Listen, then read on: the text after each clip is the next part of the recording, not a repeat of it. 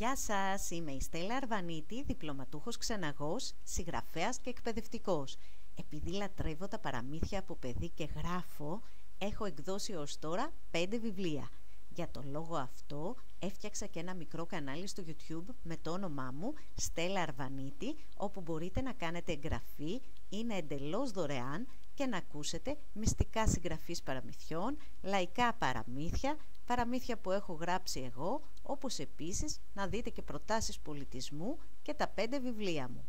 Και αν σας αρέσει, κάντε like και κοινοποίηση, γιατί έτσι διαδίδονται τα παραμύθια, από το στόμα στο αυτί και πάλι από την αρχή. Θα ακούσετε τώρα μια αραβική ιστορία σοφίας.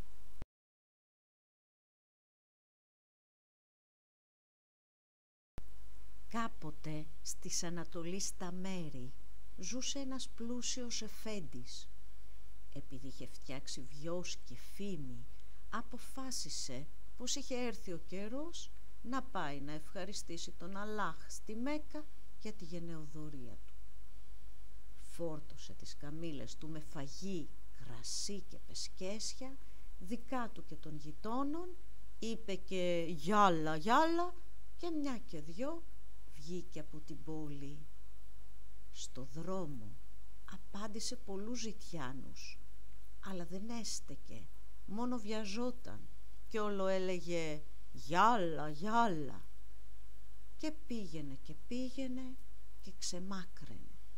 Ο ήλιος ψήλωνε, η ζεστή σκόνη τον τύλιγε σφιχτά, ο υδρότας έσταζε από το μέτωπό του, μα αυτός πάλι δεν έστεκε μόνο έλεγε «Γιάλα, γιάλα» ώσπου κάμποσο μετά απάντησε στο δρόμο του ένα σαχάτ, ζητιάνο, με μια κακή πληγή στο πόδι.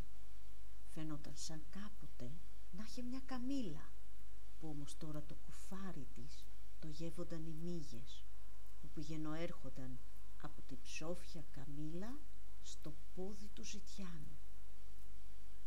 Ο Εφέντης ξαφνιάστηκε που ο Ζητιάνος δεν έκανε καμιά κίνηση να διώξει τις μύγες παρά μονάχα τέντωσε το χέρι του και του είπε «Φελούσα, Φέντιμ, φελούσα, λαχαλάχ». Ο Εφέντης πήρε από το πουγγί του μερικά φελούς και του τάδοκε γιατί ήθελε φτάνοντας στη Μέκα να έχει κάνει μια καλή πράξη. Και για να βοηθήσει πιότερο τον Σαχάτα κούνησε το χέρι του νευρικά πέρα δόθε, φωνάζοντας τις μύγες «Γιάλα, γιάλα».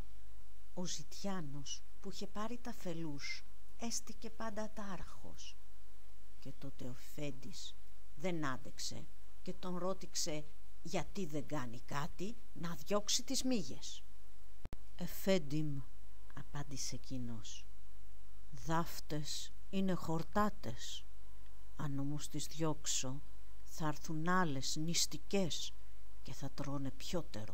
Ο Εφέντης, ικανοποιημένος από την απάντηση του Σαχάτ, τάφηκε κρασί, φαγί και νερό και λέγοντας «Γιάλα, γιάλα» πήρε ξανά το δρόμο για τη Μέκα.